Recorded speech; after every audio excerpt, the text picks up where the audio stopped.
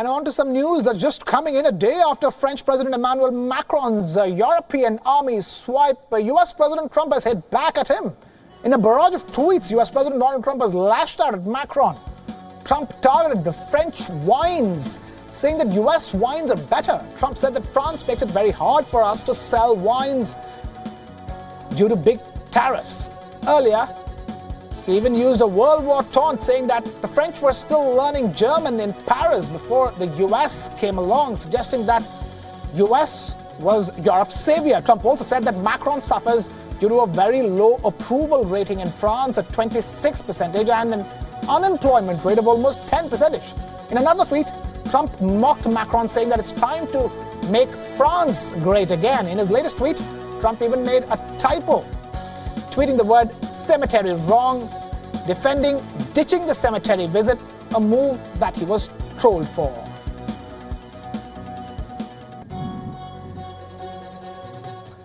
And now we have uh, Elena Casas Montanez, uh, WION correspondent, uh, joining us live from the French capital, Paris. Uh, Elena, thank you so much for taking time out. I wanted to ask you, right off the bat, there is a debate on nationalism. And, uh, you know, and that's how Trump is hitting back at Macron because Macron made his displeasure for nationalism very clear. He does seem to have been enraged, at least partly, by Macron's speech on Sunday at the World War I armistice anniversary, which was aimed at Trump. Among other leaders, Macron said that patriotism was the opposite of nationalism and that the demons of the past were resurfacing, in front, of course, of a US president who has described himself as a nationalist. So it's clear that Macron convened those leaders together not just to remember history, but to make a clear point that he believes the international rules based order is now in danger, and he believes the US president is one of the people endangering it. Trump, though, does also seem to have been provoked by a misunderstanding of something that Macron said last week.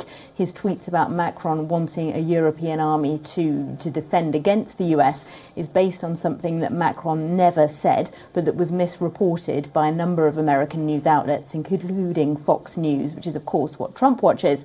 Uh, Macron last week said that the European Union did need to build its defence capacity, and he said separately that it needed to build its capacity to defend against cyber attacks by malicious actors in the US, Russia, and China. But he never said that the US was a military threat to Europe, which was what he was inaccurately reported as saying by American media, and which right. is one of the things that seems to have so enraged Donald Trump. Right, Elena, also, uh, this entire thing began with Macron's pitch for an army for the European Union. That certainly didn't go down well with Trump things have been balling up on that front ever since. And then you've seen this barrage of attacks from, from Donald Trump, be it uh, on the wine tariffs uh, for U.S. wines in France, and then, of course, uh, uh, the talk of uh, how the army is not the right way to go for the European Union. So the joint army proposition is a long-standing promise of Macron's. It was a campaign promise last year, and he certainly sees it, as he said to Donald Trump when they met here in Paris on Saturday, uh, as a way of reducing Europe's military dependence on the US and of reducing the US's own spending in NATO, which is something that Trump has complained about also a great deal, of course, how he believes that European nations aren't contributing sufficient spending to their own defence, and as a result, he thinks that the US is contributing unfair amounts of money.